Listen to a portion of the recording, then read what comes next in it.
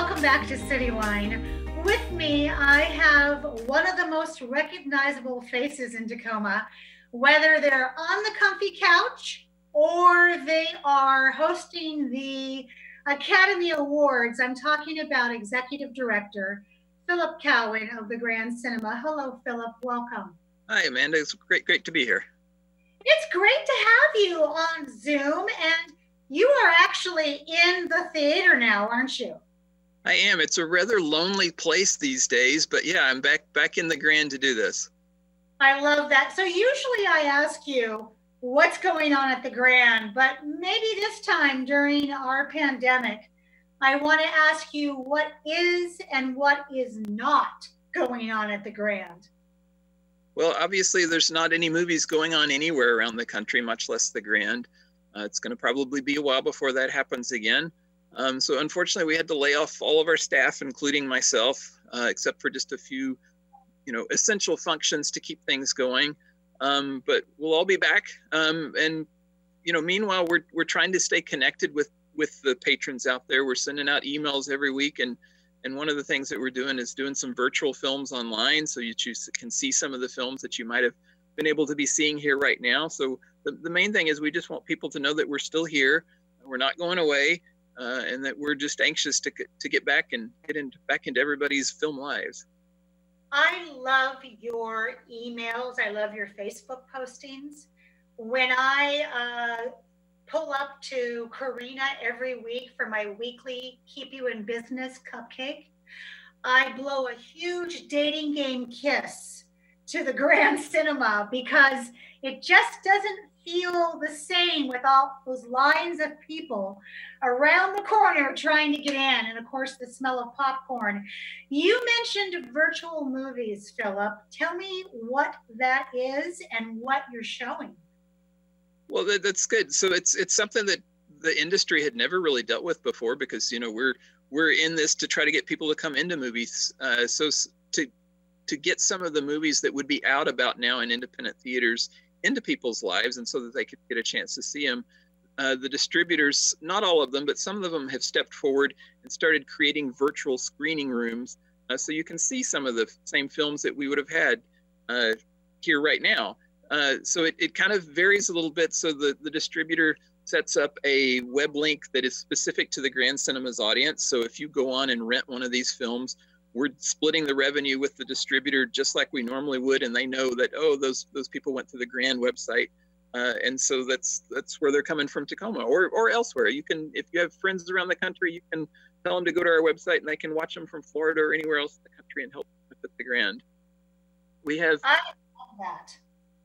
Yeah, and the, they look a little bit different depending on which film you pick because the distributors have different landing sites. So you know you may rent one movie and then you, you, go back to see another one another time and it might look a little bit different. But from the moment you you pay for it you have at least two days to watch that movie. So you have the flexibility of starting a movie whenever you want which is something that we can't normally offer.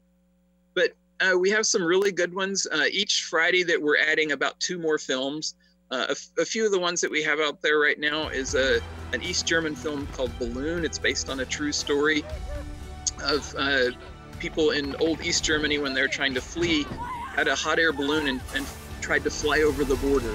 Uh, and it's a really it's a really good thriller movie, so I recommend that one. Uh, a couple documentaries, Slay the Dragon, which is a really good one uh, out on gerrymandering, and it kind of talks about the gerrymandering is essentially where political parties draw districts to match whatever they want to help get them elected. A really good documentary on that. Uh, we have a, a, really entertaining one called The Booksellers. It's people who sell old books uh, and talks about the bookstores around the country, uh, their situation now, and tells stories about some of the books that you can find. And so that's a really fun movie too. And then uh, Ordinary is that's this is one that I have not actually seen myself, but I've, I've been had people telling me, "Oh, this is a really good one." It's, it's an Irish movie. It's kind of an Irish Ghostbusters. It's kind of a lighthearted movie for these times that are a little bit heavier, this might be a good one for for people to want. It's a really good independent movie. I love that. So, Philip, um, the only thing missing is for you to institute popcorn delivery. You know that it sounds funny, but it's something that we've actually talked about doing. If we could like set up some specific times on a Friday night or something like that to do popcorn. So keep watching this. You never know. That might happen. Hey, I got to tell you, if if Corina can do it next door to you, you can have popcorn pickup time. I'm going to be the first one in line to get one yep. of those huge king size buckets. That's that's good. Yeah, no, we we we are known for our popcorn, and we'll we'll keep doing it. I am so sad to hear that that your staff and you were laid off because um, if there ever were sweethearts for Tacoma and our family, it's the Grand Cinema and all of their volunteers. So, through that lens, what are your expectations for the next months and a couple of weeks here? Well, a lot of this one is going to be taken out of our hands of when we open up. It's going to going to be uh, up to the governor and just kind of normal standards within the area. You know, we don't want to open up too soon. Uh, and and if and when whatever point we do open up, you know, I'm sure there will be still some fears out there. So, you know, we're going to do our best to space films out a little bit broader within the calendar so there's not as many people in the lobby, uh, space out people in the theaters themselves. Uh, so we're, we're definitely going to be working towards whatever situation exists at the time that we that we open back up. You know, and it's it's created some tough scheduling things. You know, we had about this weekend was when we were supposed to be having our local film teams film our 253 competition. So that's 72 hours. Everybody goes out and makes short films, and uh, we've obviously had to cancel that. Um, but I, actually, I shouldn't use the word cancel. We are postponing that one. That one is one of our staple events and one of our best things that we do each year. So we're going to do that later this year. Don't know exactly the timing on it, uh, but when everything starts to open back up, definitely want to get those film teams out there making fun movies. Tacoma, uh, a couple years ago, Philip, and you were very instrumental in this, passed Tacoma Creates funding for the arts. Is that something that could help an organization such as the Grand Cinema right about now? Yeah, that's uh, we're we're very lucky that Tacoma, you know, got out in front of all of this without this in mind, obviously, to to pass Tacoma Creates, and that that helps. Uh, for st- sustainability of businesses, uh, for, for, arts organizations, as well as access and uh, equity and all of those things. And so, yeah, that's something that some of the organizations really going to need those funds to, to help keep the sustainability because we need to keep going to be able to offer the kind of things that we always do. In the meantime, and even after when you get that funding, what can our viewers, what can the Grand Cinema family do to support you right now? Well, I mean, the, ironically, just just recently on uh, April 18th, we celebrated our 23rd birthday. Um, so one of the things we were doing is to to get people to donate 23 bucks to the Grand to to help support us through this. So uh, donations, memberships. If you want to be a member of the Grand, we're setting it up to where if you if you become a member or renew your membership anytime during this, we will start your 12 month membership the day we open our doors again. So it's a good way to support us now and know that you're still getting those 12 months of movies and discounts and free popcorn. Um, but and then right now, go watch a movie online. Go to grandcinema.com. Uh, right on the front of the page, that shows a link to the virtual movies, and you can click through and watch trailers for them all and pick out one that works for you, and then enjoy a, a film at home that supports the Grand. Philip, I want to say thank you so much for um, you taking time out of uh, your schedule. This is an ever changing, uh, moment to moment day, as every day is. Um, and I thank you so much for Zooming with us.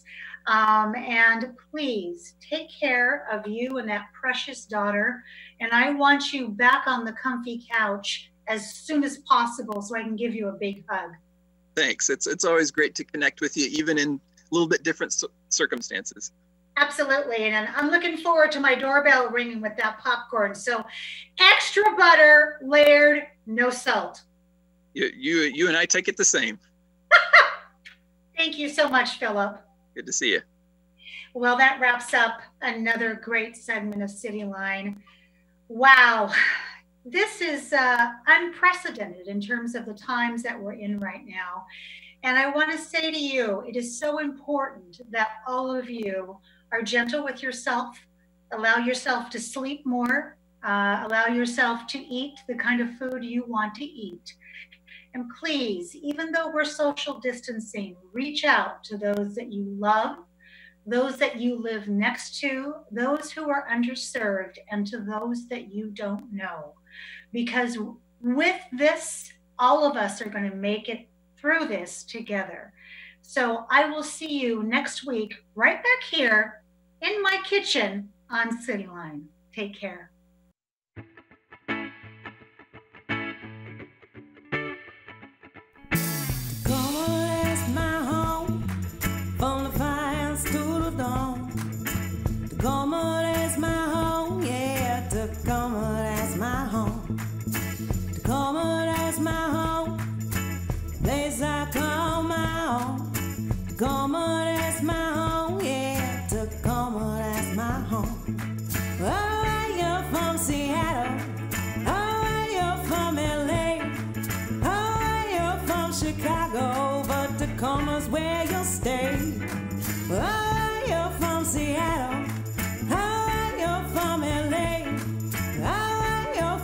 Chicago, but Tacoma's where you'll stay. Yeah.